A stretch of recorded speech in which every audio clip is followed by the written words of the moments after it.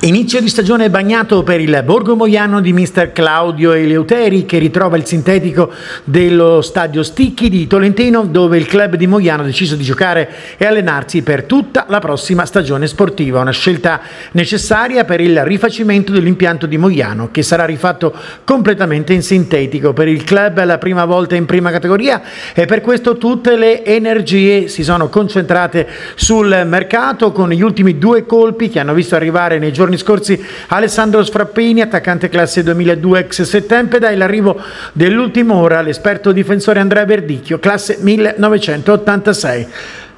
Noi eravamo lì, queste sono le interviste. Nardi Adriano, allora il Borgo Moiano parte qui a Tolentino con la preparazione sotto la pioggia, che emozione avete primo, prima stagione?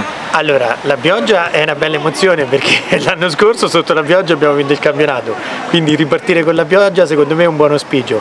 E è chiaro, siamo molto tutti contenti, tutti emozionati, tutti molto stimolati da questo nuovo, da questo nuovo impegno che è la prima categoria, che noi non abbiamo affrontato mai, ma come tutte le altre stagioni che abbiamo affrontato eh, ci metteremo il nostro massimo impegno e la nostra massima eh, stimolo e direzione per eh, far sì che insomma, eh, si realizzi un nuovo progetto importante.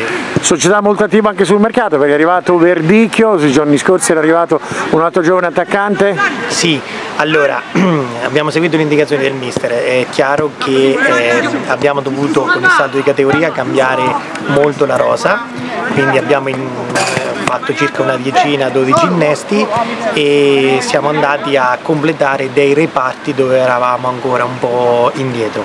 Diciamo che a questo punto potremmo considerare concluso il mercato eh, da valutare eventualmente altre opportunità, però ormai è una rosa di 23 giocatori, mm, quindi credo che sia completa la squadra.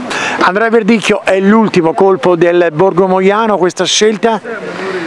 La scelta serve per ricominciare perché vengo da due anni praticamente in attività, l'anno scorso mi sono allenato a casette ma ho giocato poco o niente, venivo da un anno e mezzo di infortunio, quindi è un po' un punto di inizio, di rinizio. Questa voglia di tornare sul campo di calcio? Nonostante i 38 anni fra, fra 5 giorni sì, è voglia di, di giocare. Quindi c'è questa passione, come vedi questo campionato? Perché se ne parla molto della prima. Sì, vedo un campionato sicuramente equilibrato sopra con 4-5 squadre ben attrezzate, e, ma penso che anche noi possiamo dire la nostra e siamo qua proprio per, per sorprendere. Eccola, Claudio Eluteri, la prima seduta di allenamento di questo campionato bellissimo, l'ultimo arrivo, è stata una tua idea?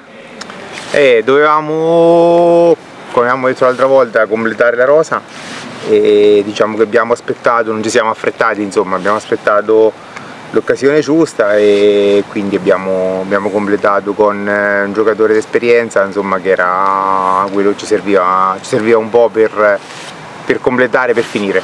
Le due matricole, Borgo Moiano e Belfortese, hanno iniziato oggi sotto la pioggia, ma lasciamo perdere i particolari. Sapete che sarà difficile, no? Sì, sì, assolutamente. Il campionato secondo me quest'anno eh, ancora più difficile degli altri anni, quindi bello, competitivo, sarà difficile, noi abbiamo cambiato tanto, eh, quindi circa 10-11 giocatori, quindi ci vorrà tempo insomma, per, sicuramente per amalgamare il gruppo, però diciamo che sono fiducioso insomma, che possiamo fare bene. Parliamo anche delle amichevoli?